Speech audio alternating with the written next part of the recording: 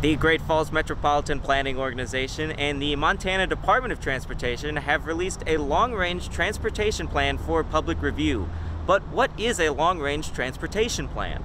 Well, every five years we update our long-range transportation plan.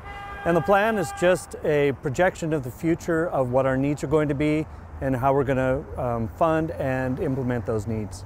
The process is data driven as current conditions are looked at and future expectations are forecasted. We try to project future traffic based upon where growth is going to happen. And that future traffic will tell us where our problems are going to be. Now, a draft of the plan has been published, and the city is looking for public feedback on the plan. We want to know what people think about that draft. If there's anything that is glaring, um, if we're going in the wrong direction, we'd love to know what people think about that plan. Over 75 improvement projects have been identified. 21 of them are already expected to be completed in the next few years, and the other 55 are proposed. There are also over 150 recommendations for non motorized networks such as bike lanes and sidewalks.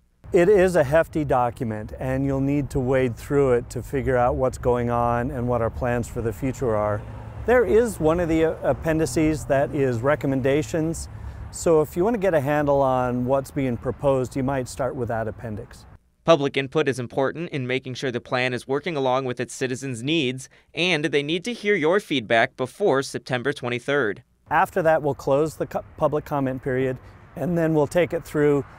Boy, we're taking it to the city and county planning boards, city and county commissions, and then some local transportation bodies for approval. So, while you still can, head to the website, review the comments, and add some of your own to make sure that the City of Great Falls is doing what it can for you. In Great Falls, I'm Tommy Lynch, MTN News.